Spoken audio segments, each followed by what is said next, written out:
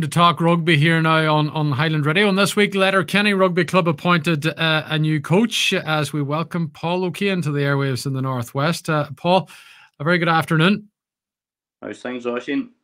I'm good, Paul. I know you for over 20 years. Me and your old school buddies. I decided to talk about sport. You decided to go coaching it. Uh, so you did, and, and you've been coaching successfully uh, over the last number of years. Limavady to a, a, Gordon West and to a league title. You then coached Durban. And after that, you took on the big job at, at City of Derry, where you brought the club from the brink of uh, going down to junior rugby to being competitive again in, in the All Ireland series. Maybe before we talk about Letterkenny, Paul, uh, you might give us a, sort of a, a, background as to, to how things panned out for you in City of Derry and, and how much effort and work it took from you and your coaching team to get them back up being competitive in All Ireland League again. I, listen, City of Derry was an opportunity at the time I couldn't refuse. Um, I kind of similar to Letterkenny now. I seen the potential that existed within uh, City of Derry and the the wider uh, Derry City area uh, to grow the sport. Uh, so the the fact they were struggling wasn't a massive draw, uh, drawback for me. I was really excited about what could be done. Uh, so as I say, we, we stabilised the club. They were they were hemorrhaging players. They weren't able to field at second, third team level, uh, and obviously they were getting a fair few hard days at, at first team level. They were, I think, they were the only club ever in AIL status not to be able to field at first team level. So it was a, a fairly big task, but myself and the, the likes of Richie McCarter and Joey Gallen at that time, uh, they, they, they, all really bought into it. Um, and, and, we've started to, to, to turn the wheels uh, around, obviously. Um, we, we were able to get uh, a very competitive squad uh, gathered up. We were able to get numbers back in the locality and guys re engaged with rugby again. So we went from struggling uh, with competing at first team level and even feeling the side. We went to having a, a, good mid table competitive side in, in All Ireland League Rugby, uh, as well as a second team that was able to win their league and a third team that won the, the Butler Shield. So it was a a, a fantastic season. Uh, there was good success with the, the ladies' end of things as well. They reached the Junior Cup final. Um, the, the underage was, was was really starting to, to tick again. Had a very strong under 18 squad. Uh, so it was it was all pretty positive. The second year, we we hemorrhaged. Uh, well, we didn't hemorrhage. A few bigger clubs came, and uh, obviously that's the a victim of success is people want to take your players to higher levels. So we lost a few guys, including uh, Letterkenny's Conor McMenamin. We lost him to to Malone, uh, which was disappointing. Lost Rory McGinty and our Letterkenny lad up to Queens. But we were able to again be a real competitive force at first team level. We were able to again push on. We were hoping going into the last four games before the the COVID uh, kicked in that we were hoping to sort of get into those playoff spots uh, to, to have a chance of getting into 2B. Unfortunately, we didn't have that opportunity. Uh, but as I say, again, we had a strong strong side at second team level. We were able to finish. I think they were in the top floor, top four before the the season uh, just fizzled out, and the third team were up the top end of their league as well, and the under 18s had won their league that year. So again, it was all all pretty positive. Unfortunately, uh, then COVID came in, and there was a. I think we only get to play two games this year in pre-season, and it's been a lot of a lot of hard tiring work behind the scenes trying to just keep it alive in some shape, form, or fashion.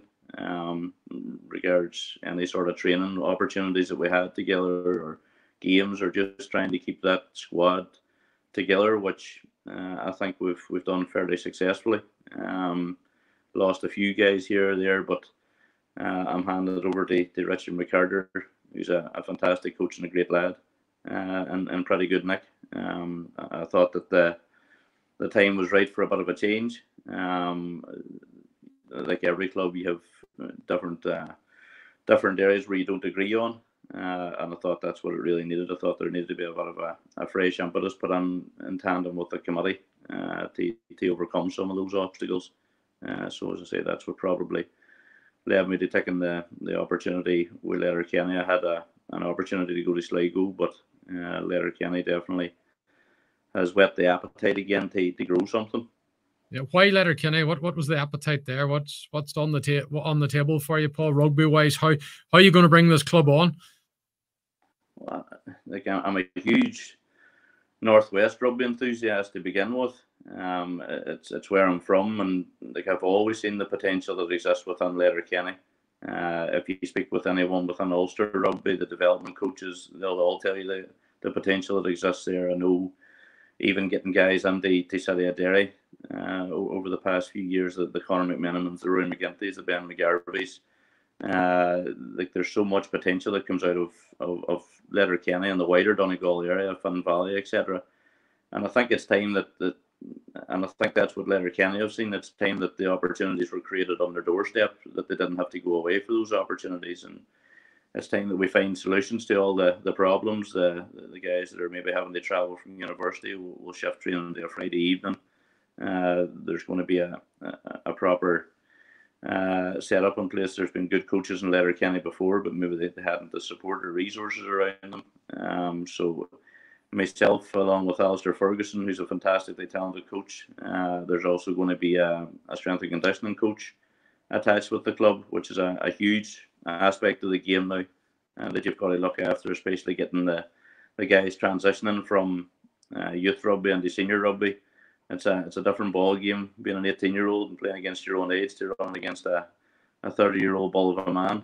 Uh, so there's there's a lot of help and support that we have to give these guys as a club to make them feel part of things and, and really start to bring their potential to fruition really. Uh, and that's what, to be honest, that's what excites me when you look at the facilities that Letterkenny have. Their top drawer. Uh, we were down there last night and like you, you only have to look at the the clubhouse, the the, the pitches, and the, the room around there to actually grow as well. Uh, to know that it's it's a, a bit of hard work and a bit of togetherness, and hopefully we can hopefully we can achieve some good things. Yeah, you done it in the first year of your three-year term at City of Derry. You were able to to turn things around. Um, where do you want to be at the end of year one with Letterkenny, Paul? End of year one with Letterkenny, a lot of it will dictate, be dictated by who we can re-engage squad-wise. Uh, I've been probably over the past few days. I think uh, I messaged around 60 people um, the other day. Uh, guys that had walked away from the club or, or had stopped playing rugby for one reason or another. Uh, we want to try and re-engage with some of the, the, the talent that, that it, uh, has existed that doesn't really play in much rugby at the moment. The the Daniel Faulkners, the the Peter Scott, the Ben Scotts. Like there, there's a host of names that we want to try and get through and try and re-engage them into the club. When we see what quality that we have. Uh, like I genuinely feel there's natural potential there to, to finish in the top four this year at least. Uh, you would love to drive forward into that playoff position of the top two, even first year, and have a successful run in the Gordon West Cup. Uh, depending on what talent I'm able to re-engage uh, and tandem with what's already there, because the guys forget there's some fantastic talent there already, like Christy Gimas and Davy Ward and Davy Brown, those kind of stalwart players, Andrew Gibson's, like those guys could and all could have played at a much higher level than they have. So there there is a spine that exists within Letterkenny. It's about now creating opportunities for those young guys coming through and seeing what talent we can pull into there. And obviously, what talent we don't have, we're going to look to solutions for that. So we will recruit and we'll we'll find answers to that in the local area by by trying to attract guys from other clubs. Uh, and to what I see is as a club that's only going to go one way. To be honest, uh, it's it's built to grow, and, and that's what I intend to drive. Yeah, you mentioned about players that have moved on to play with various other All Ireland League clubs, uh, Paul. That, that's come out of the Letterkenny uh, uh, Academy. Um, is your purpose with that type of player now going forward to keep them in Letterkenny, or do you still have to evolve them and let them go play at a, with a bigger club and, and, and, at a bigger level? And that probably all bodes well down the line for the club again. So, how do you find the happy medium between all that? To be honest, I think you've got to aspire to keep your own talent, and and that's certainly the aspiration within the club now. Is that Letterkenny probably hasn't created the, the opportunities for them. They haven't had that support, but now they are going to have that support. So, if we want to grow through the leagues, there's minimal differences level wise through all the leagues. To be honest, especially from Q2 up to Q1 and on the AIL there, there's small differences and there's there's small things that can make a massive difference in regards to your squad. It's about building squad depth. So our aspiration is that we are going to make sure that we retain up to around 85, 90% of our under 18s coming through now. I think we've got to do that. And the mentality of hemorrhaging our best talent out to the other clubs has got to go, uh, and it's part of the mentality that I certainly will be bringing. Uh, as I say, with the setup that we're going to have in place, we're, the, the guys are going to have the same opportunity to evolve uh, as they would at an All Ireland League club. Um, with the, the experience that I have and Alistair, and as I say, with the, the medical support from a physiotherapist uh, that we'll have for the guys, the S and C provision. Uh, to be honest, we, we, we definitely don't want to see guys seeing that there's better opportunities outside. Uh, we want to see the opportunities being created from within. Um, now that, as I say, there's been a, a fairly good start to that made by I think there's nine nine of the the under 18 team that are coming out this year. Uh, there's six of them that have already committed uh, to playing their, their rugby within Letterkenny next year. Now there's a there's a couple that may be lost who are going down to Limerick to study, and that's that's fair enough. But even Galway, Dublin, Belfast, we will look and strive to keep those guys on board now. Uh, and we'll only get stronger as we grow. A, a, huge part of what we're trying to do at first team level is is going to happen below that. Uh, like we, we will, by hook or by crook, have a development team up and running this year. Uh, that's a, it's a place for guys who, in the Letterkenny area, maybe have walked away. Maybe guys from a Gaelic background or another sporting background that want an opportunity to play uh, the sport, but need to learn the sport. Uh, so, and as I say, those under 18 guys are maybe physically just not ready for senior rugby yet at first team level, we've got to create those opportunities below. So, we're going to have a development team up and running again, uh, which which is hugely important. Uh, Rory McGonigal is going to get involved with the coaching end of that, but primarily I will also look after that that team as well. With the numbers that are coming out in the next year at, at under 18 level, like with 22 guys coming out uh, at under 18 level, like aspiration wise, like we should be genuinely looking to be producing probably as a minimum two sides, but hopefully aiming towards three sides over the next two three years. I think we've like we've got to grow those opportunities and pathways within the club. So uh, I definitely don't want to be losing our, our best talent uh, from now on. Yeah.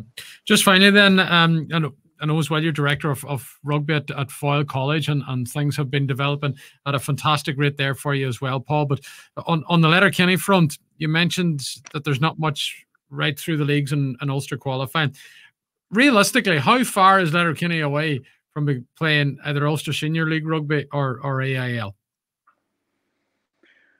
I think you're you're probably five years away from uh, probably making a decision on that, and that's probably what the, the club have actually seen themselves.